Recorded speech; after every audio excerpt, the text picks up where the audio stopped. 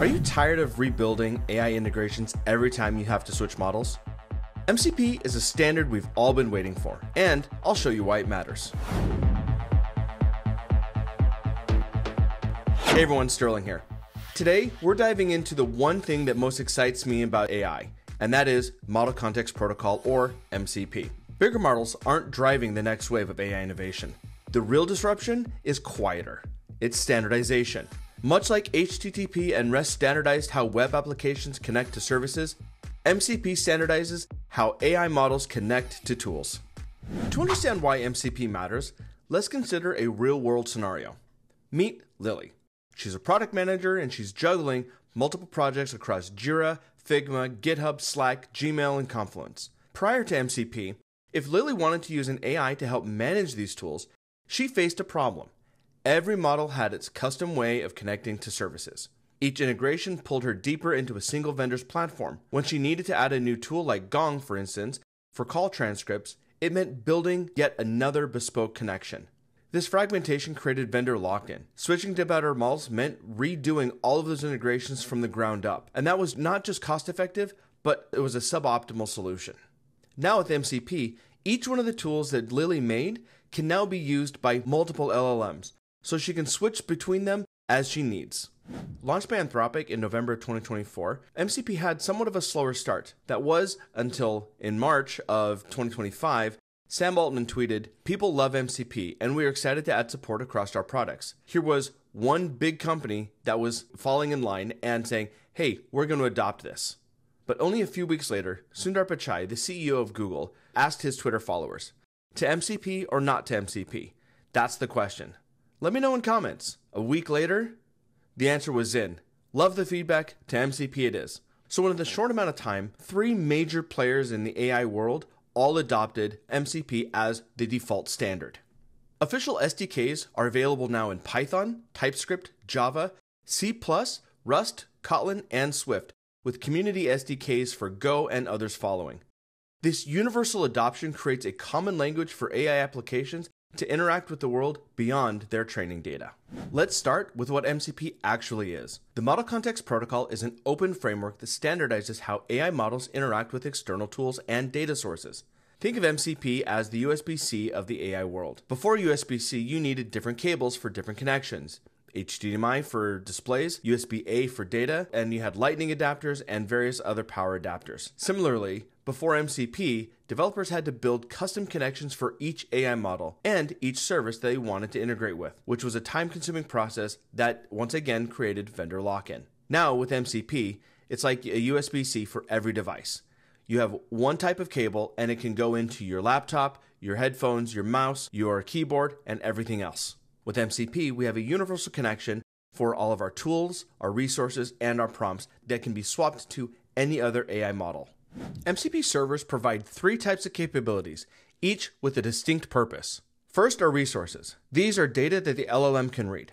Think of documents, databases, or API responses. For example, instead of copying and pasting your quarterly sales report to an LLM, you can simply say, read my Q1 sales report, and an LLM could access it directly through MCP. Next, we have tools. These are the actions that an LLM can perform with your permission. They're essentially running code or making API calls on your behalf. For example, instead of an LLM saying, I can't check the weather, it could say, the current weather in San Francisco is 70 degrees because it uses a weather tool to fetch real time data. And lastly, prompts. These are the specialized instruction templates that can tell an LLM how to approach a specific task. It's like having pre configured personalities or expertise modes. For example, one prompt can instruct an LLM to analyze code like a security expert, while another could have it respond like a kindergarten teacher explaining complex topics. Now let's take a look at this inside of Postman. I've connected my MCP server, and you can see I've got my tools, prompts, and resources. So the tools, we're going to have a simple echo message. We'll say, hello, Sterling. And when I run this, the response is, hello, Sterling.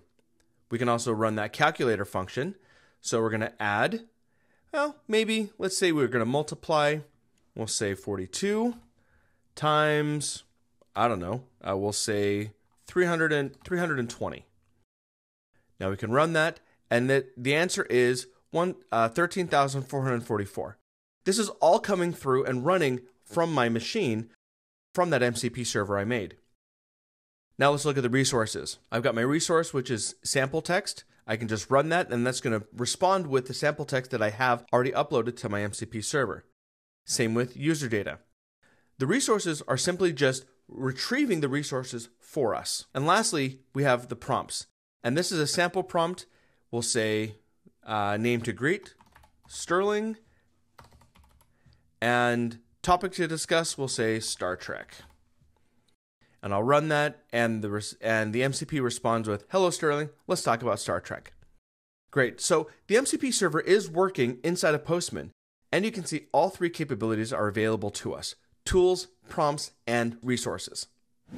Despite its many benefits, MCP comes with important challenges that leaders should understand. Security and trust are paramount concerns. MCP servers act as gateways between AI models and sensitive information. If you don't control or can't fully trust the operator of an MCP server, you risk exposing company secrets or customer data to unknown parties. Even with secure connections, subtle implementation flaws can create security vulnerabilities.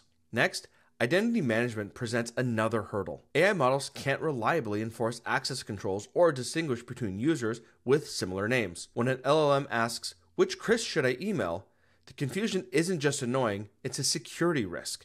Authorization must happen outside the model through robust identity systems with carefully scoped permissions. With any integration point, quality varies widely. APIs evolve constantly, and MCP servers that aren't actively maintained can drift out of sync with underlying services. Without proper monitoring, you might experience broken integrations or inconsistent data. Finally, there are practical considerations of cost and complexity. Each tool call through MCP consumes additional tokens, potentially increasing your AI usage costs. And servers with too many tool options can overwhelm models with choices, leading to inefficient interactions. And the good news? None of these challenges are deal breakers. As the MCP ecosystem matures, best practices and governance frameworks are emerging to address these concerns head on. MCP isn't just hype, it's a fundamental shift in infrastructure for AI applications. Just as HTTP standardized the web, MCP is standardizing how AI connects to the real world systems. By creating a universal connector between models and tools, MCP reduces the development time and eliminates vendor lock in. The MCP Builder and MCP Client are available in Postman today to build and test your own MCP servers. Check it out and let us know what you thought. Join the conversation on Discord and in our Postman community. Links are in the description down below. Thanks for watching.